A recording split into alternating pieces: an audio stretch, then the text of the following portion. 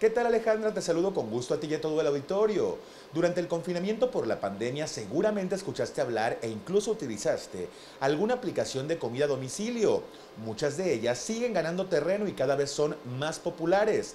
Por si acaso aún no las utilizas, te daré algunos consejos útiles para que les saques el mayor provecho.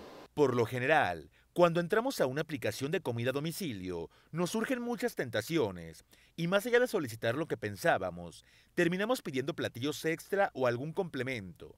Pero lo ideal es que las apps de comida sean tus herramientas aliadas y logres hacer un uso más consciente y planificado con ellas. Los siguientes consejos útiles te permitirán tener ahorros significativos y seguir disfrutando tus platillos favoritos. Compara precios de envío entre aplicaciones y restaurantes.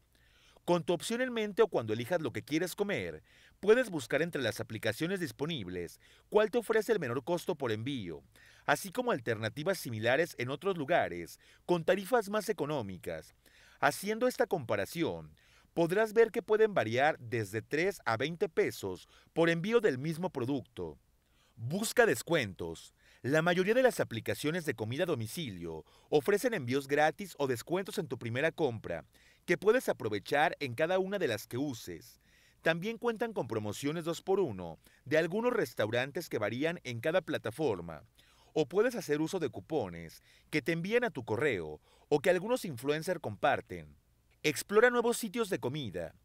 Sitios para comer es lo que sobra en las aplicaciones y puedes darte la oportunidad de probar en lugares no tan populares que ofrecen platillos similares a los que quieres, quizás hasta más buenos en sabor pero a menor precio. Utiliza tarjetas que otorguen recompensas. Puedes hacer tus pedidos en las apps de comida domicilio y elegir pagar con medios electrónicos, utilizando las tarjetas con las que te pueden otorgar recompensas por gastar con ellas. Luego podrás aprovecharlas en una nueva compra. Conoce la cobertura y los tiempos de entrega.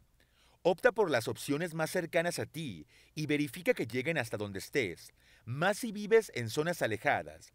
Otra recomendación es comparar cuál app ofrece una entrega más rápida.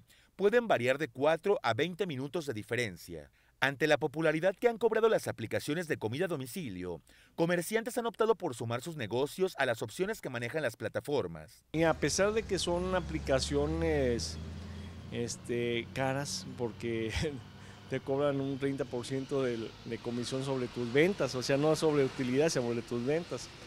Entonces estamos hablando que sí es, este, es, es caro, ¿sí? pero pues, es una forma de darte también difusión. Pese al costo que tiene el envío de los productos, las aplicaciones de comida a domicilio ofrecen grandes beneficios para los consumidores. Hay veces en 40 minutos que te vas a tardar en desplazarte, moverte, te llega tu producto caliente sin, sin llevar ningún riesgo porque estás en tu casa. Haces muchas cosas que dejas de hacer por salirte por tu comida. Entonces es una comodidad, ¿no? Incluso si estás pensando en trabajar como repartidor de alguna de las aplicaciones de comida a domicilio, es importante que consideres aspectos como el pago porcentual que reciben por cada servicio. Cosa mala, Uber paga poco. Por cada viaje que haces en Uber, que te dan 30 pesos, tal vez en Rappi te den 40 y en Didi también, incluso hasta 45 pesos. Por lo que esos 15 pesos, créeme que se siente, más que nada cuando haces 10, 10 viajes, son casi 100 pesos menos. Investigaciones realizadas por especialistas detallan que Uber Eats es actualmente la plataforma más popular en el país, contando con más de 47 mil usuarios.